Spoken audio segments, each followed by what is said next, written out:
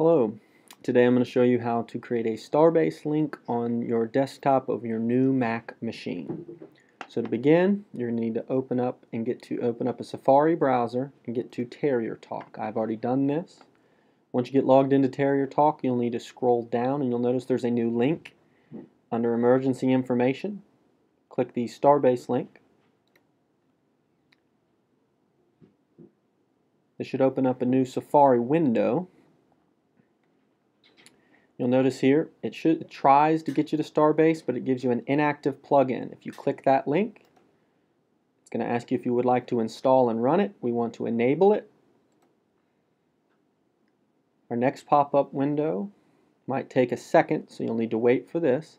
As soon as that pops up, you need to allow applets at all times for this. Reason is, is you will not see this anymore after we click this. So now Starbase will just open cleanly by checking here.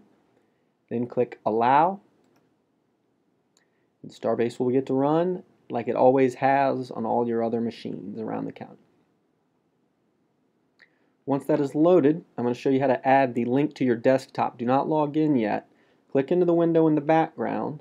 I'm going to shrink it down a little bit so I can see the desktop. And to create the shortcut as simple as this grab the little world, drag it over, and now there's your shortcut for Starbase. If I were to quit Safari right now, close out that, and now you can see all I need to do is double click my icon like I always did,